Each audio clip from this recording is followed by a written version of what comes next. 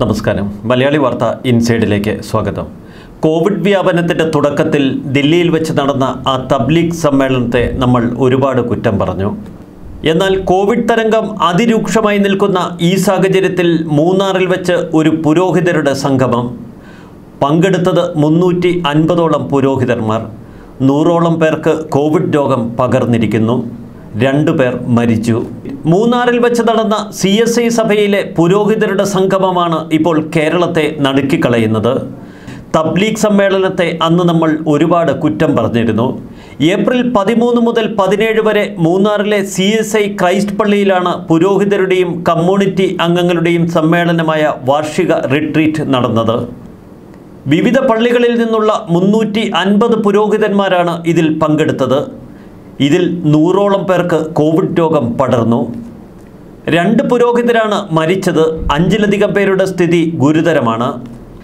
C S I മോഡറേറ്ററും ദക്ഷിണ കേരള രൂപതാ ബിഷപ്പുമായ റവറന്റ് എ. ധർമ്മരാജ് റസാലം രോഗബാധിതരിൽ പെടുന്നു. അദ്ദേഹം ഇപ്പോൾ വീട്ടിൽ ക്വാറന്റൈനിലാണ്. മീറ്റ് മാറ്റിവെക്കണമെന്ന് നിരന്തരം നിരവധി പേർ ആവശ്യപ്പെട്ടിട്ടും സംഘാടകർ ഇതുമായി മുൻപോട്ട് പോയി ജില്ലാ ഭരണകൂടം ഈ മീറ്റിന്റെ കാര്യത്തിൽ വേണ്ടത്ര ജാഗ്രത പുലർത്തിയില്ല. പോലീസ് പോലും ഇടപെട്ടില്ല എന്നതാണിപ്പോൾ പരാതി. ഇത്തരമൊരു പരിപാടിയിൽ പങ്കെടുക്കുന്നതിൽ പരാജയപ്പെട്ടാൽ അച്ചടക്ക നടപടി എടുക്കുമെന്ന് സംഘാടകർ പുരോഹിതർക്ക് മുന്നറിയിപ്പ് പോലും നൽകി. അത്തരത്തിൽ ഭയപ്പെടുത്തിയാണ് പുരോഹിതന്മാരെ ഈ സമ്മേളനത്തിനായി വിളിച്ചുകൂട്ടിയത്. അതാണ് രോഗവ്യാപനത്തിനിടയിലും ഇത്രയധികം പുരോഹിതർ ഒത്തുകൂടാൻ ഇടവന്നതും. എന്നാൽ ഇപ്പോൾ സി എസ് ഐയുടെ ദക്ഷിണ കേരള രൂപതാ സെക്രട്ടറി ടി ടി പ്രവീൺ മുൻപോട്ട് വയ്ക്കുന്ന വാദം മറ്റൊന്നാണ്. മൂന്നാറിലെ മീറ്റിൽ നിന്നല്ല ഈ രോഗം പടർന്നത്. കോവിഡ് പ്രോട്ടോക്കോളുകളെല്ലാം ലംഘിച്ചുള്ള സമ്മേളനമാണ് മൂന്നാറിൽ നടന്നതെന്ന് വ്യക്തം. പ്രദേശവാസികളും ഇക്കാര്യത്തിൽ ഉറപ്പിച്ച് തന്നെ നിൽക്കുകയാണ്. എന്തൊക്കെ നിയന്ത്രണങ്ങൾ നമ്മൾ ഏർപ്പെടുത്തിയാലും പലപ്പോഴും സഭയുടെ കാര്യത്തിലും മതങ്ങളുടെ കാര്യത്തിലും അവയൊന്നും പ്രാവർത്തികമാക്കാൻ ഭരണകൂടങ്ങൾക്ക് കഴിയാറില്ല. ഇത്തരം പല സന്ദർഭങ്ങളിൽ പോലീസിന് പോലും ഇടപെടാൻ കഴിയുന്നതല്ല. മലപ്പുറത്ത് ജില്ലാ കളക്ടർ പ്രഖ്യാപിച്ച ഒരു ഉത്തരവിന്റെ പേരിൽ മുസ്ലിം സമുദായ സംഘടനകൾ ഒത്തുകൂടുന്നത് നമ്മൾ ഈ അടുത്ത കാലത്ത് കണ്ടതാണ്. അന്ന് പള്ളികളിലെ പ്രാർത്ഥനയെ ചൊല്ലിയായിരുന്നു തർക്കം. കോവിഡ് രോഗത്തിന് മതമെന്നോ പുരോഹിതരെന്നോ ഒരു നോട്ടവുമില്ല. തൽക്കാലത്തേക്കെങ്കിലും കൃത്യമായി പ്രോട്ടോക്കോളൊക്കെ പാലിക്കുക. നിയന്ത്രണങ്ങൾ സർക്കാർ ഏർപ്പെടുത്തിയിരിക്കുന്നത് നമ്മളുടെയൊക്കെ ജീവൻ സംരക്ഷിക്കാനാണ് എന്ന ചിന്ത വേണം. രാജ്യത്ത് കോവിഡ് നയന്റീൻ രണ്ടാം തരംഗം അതിരൂക്ഷമായി വ്യാപിക്കുന്ന കാഴ്ചയാണ് ഇപ്പോൾ കാണുന്നത്. ബുധനാഴ്ച ഇന്ത്യയിൽ രോഗം പടർന്നത് ഏകദേശം മൂന്ന് ലക്ഷത്തി എൺപത്തിരണ്ടായിരത്തി മുന്നൂറ്റി പതിനഞ്ച് പേരിലേക്കാണ്. ഇരുപത്തിനാല് മണിക്കൂറിനിടെ ഇന്ത്യ കണ്ടത് മൂവായിരത്തി എഴുന്നൂറ്റി എൺപത് പേരുടെ മരണം. തികച്ചും നടുക്കിക്കളയുകയാണ് ഈ മരണങ്ങൾ രാജ്യത്തെ. ഇതുവരെ ഇന്ത്യയിൽ രണ്ട് ലക്ഷത്തി ഇരുപത്താറായിരത്തി ഒരുന്നൂറ്റി എൺപത്തിയെട്ട് പേരാണ് കോവിഡ് ബാധിച്ച് മരിച്ചത്. മുപ്പത്തിനാല് ലക്ഷത്തി എൺപത്തിയേഴായിരത്തി ഇരുന്നൂറ്റി ഇരുപത്തൊമ്പത് സജീവ രോഗികളാണ് നമുക്ക് ചുറ്റുമുള്ളത്.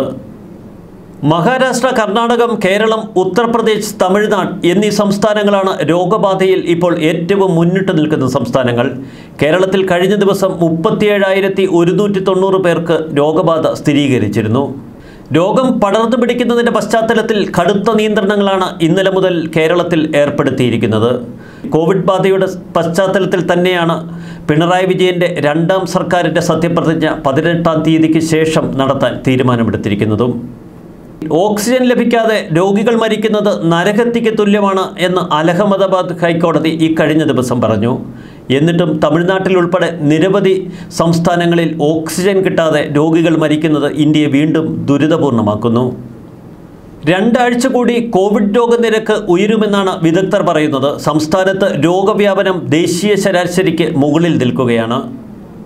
എല്ലാ ജില്ലകളിലും കിടക്കകളും ഐ സി യു കിടക്കകളുമൊക്കെ ആവശ്യത്തിന് ലഭ്യമാണ് എന്നാണ് സർക്കാർ ഇപ്പോഴും പറയുന്നത്.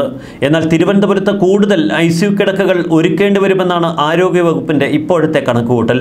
കൊല്ലം എറണാകുളം ജില്ലകളിലും അധിക സൗകര്യങ്ങൾ ഒരുക്കേണ്ടി വരുമെന്ന് ആരോഗ്യവകുപ്പ് പറയുന്നു. രോഗം സ്ഥിരീകരിക്കുന്നവരുടെ നിരക്ക് സംസ്ഥാനത്ത് ദേശീയ ശരാശരിക്ക് മുകളിലാണ്. അതുതന്നെയാണ് കേരളത്തെ കൂടുതൽ വീർപ്പ് മുട്ടിക്കുന്നതും.